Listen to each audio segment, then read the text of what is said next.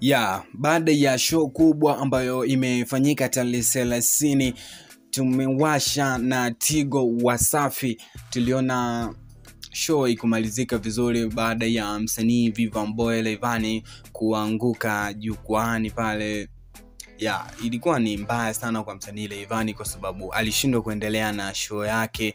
Hivyo ikawa imeleta kweli na imeleta vitu ambavyo watanzania wengi hawakupenda kwa sababu levani ni mtu ambaye tulitegemea wiki ijayo kuanzia jumatatu aachie albamu yake ya sound from africa. Kwao inakuwa inakwamisha kutokana na majanga ambayo yametokea siku ya tarehe thelathini. Na msanii Platnumz ametoa ujumbe wa kusema tuendelee kumwombea msanii leivani kwa sababu alipata shock mkono uliyumba kidogo. So endelea kumwombea msanii Leivani kama unampenda kwa sababu ana kitu chake kikubwa au ana albamu yake kubwa ya Sound from Africa. Inabidi itoke na aingie mtaani aendelee kuuza albamu yake ambayo imesheni watu wengi wakina James imesheni wakina Joe Boy Juma Jux mkali wakina Vanessa Mdee so tusubiri Leivani alikave na albamu yake itakuwa tayari. Pole Leivani, tunakuombea mema na utoke ulipo uko hospitalini